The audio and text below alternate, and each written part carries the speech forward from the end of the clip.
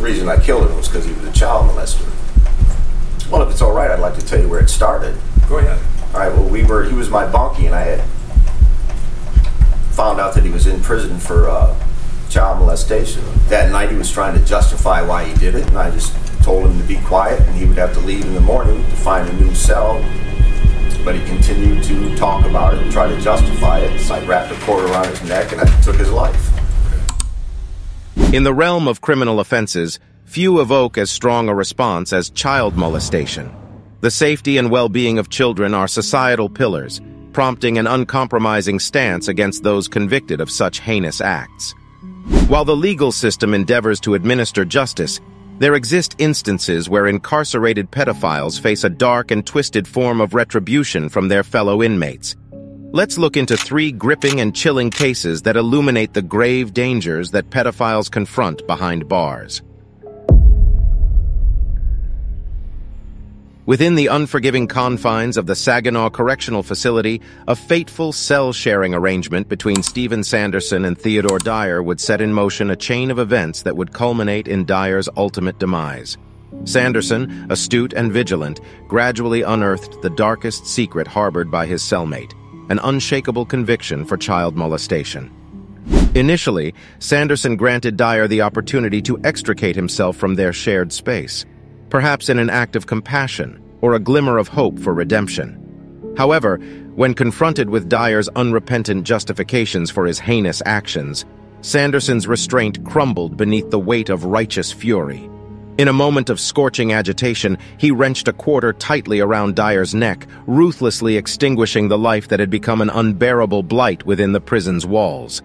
This stark and chilling illustration epitomizes the zero-tolerance attitude adopted by some inmates, for whom a prison sentence is little more than a grim precursor to a death sentence. Richard Huckle's name reverberated across the annals of infamy as Britain's most abhorrent pedophile, a predator who concealed his depravity behind the guise of a freelance photographer in Malaysia. The extent of Huckle's monstrous actions was unveiled when authorities dismantled his macabre digital empire known as the Love Zone, liberating 85 abused children and ensnaring numerous pedophiles in the process. Yet, the unmasking of Huckle's repugnant crimes was not limited to his interactions with unsuspecting victims. With an audacity born of a disturbed mind, Huckle brazenly boasted about his abominable acts to his fellow incarcerated offenders, basking in a perverse sense of accomplishment. However, the tides of justice conspired to deliver a chilling retribution within the prison's impenetrable walls. In the year 2019, Huckle was discovered lifeless in his cell, his body bearing the grotesque testament of a fellow inmate's wrath.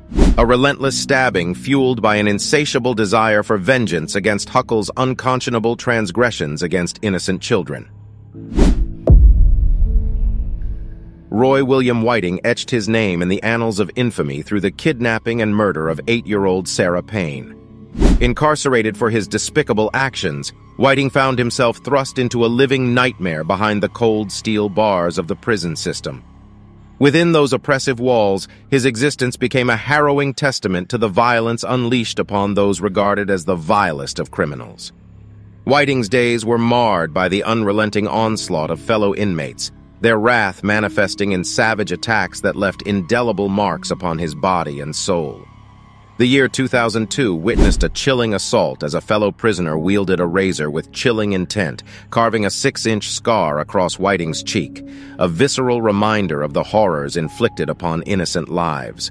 The subsequent years only intensified the brutality, with a fellow inmate blinding him in one eye through a merciless stabbing in 2011, followed by an unrelenting assault in 2018 that left Whiting requiring immediate medical attention. These relentless acts of retribution serve as a stark and haunting reminder of the perilous existence endured by individuals such as Whiting within the unforgiving confines of the prison system. Thank you for joining us on this gripping journey into the chilling world of vigilante justice against pedophiles in prison.